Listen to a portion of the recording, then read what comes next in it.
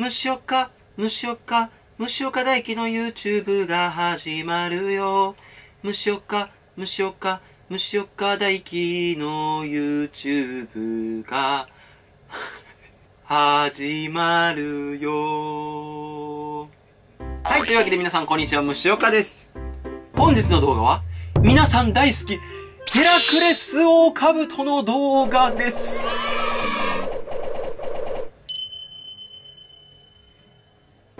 こちら去年の夏に動画にもさせてもらったヘラクレスオオカブトでございます。ほーほほほ。かっこいい。こちらですね、本当は同じ兄弟のメスがいたんですけれども、一応ブリードをしようと思って何度か交尾を試みたんですけど、うまくいかずに、結局それからしばらく期間を空けてる間に、メスが死んでしまいましてですね、今はこの子一匹となっております。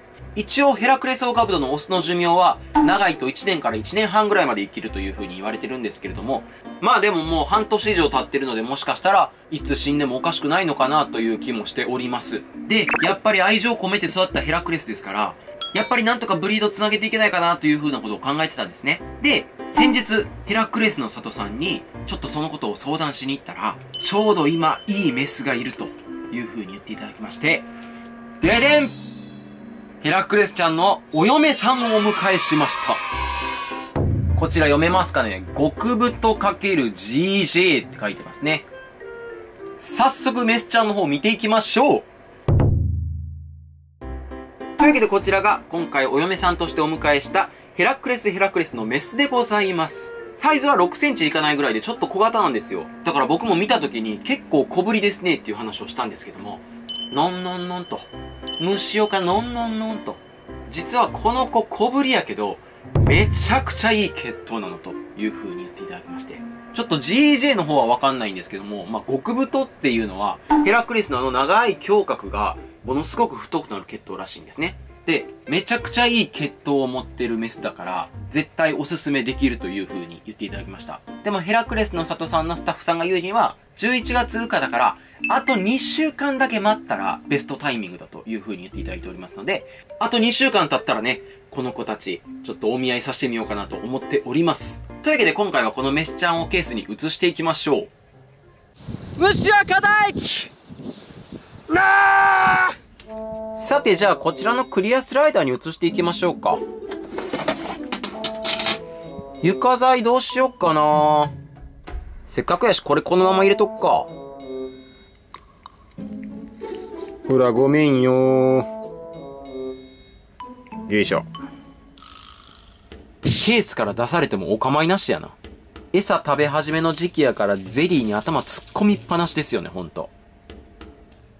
さて、じゃあこれに。うん、これでちょうどいいんじゃない？なんかここに来て変に慣れ親しんだ材を変えるのも嫌やし。シールを貼っておきましょう。よし、ではここに、お引っ越し。ずっと頭突っ込んでるやん。もう一個ぐらいゼリー入れといてあげよう。君にはもう、このオスに使うサイズの特大を入れといてあげよう。どうせ多分この特大ですらも空っぽにすると思うけど。さあ、この子は我が家のオスとうまくペアになって子孫を残してくれるのか。いやー、ブリードうまくいくのか緊張しますね。よいしょ。今回はこんな感じのご報告でございました。というわけで2週間後、まだ交尾シーンとかがうまく撮れたらですね、皆さんに動画の方でお知らせしたいなと思っております。というわけでこの動画面白いなと思ったら、高評価、チャンネル登録、通知登録の方よろしくお願いします。ご視聴ありがとうございました。虫岡でした。